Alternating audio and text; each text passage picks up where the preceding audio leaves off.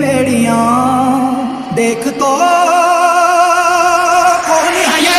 पुष्पा पुष्पराज मैं झुकेगा नहीं साला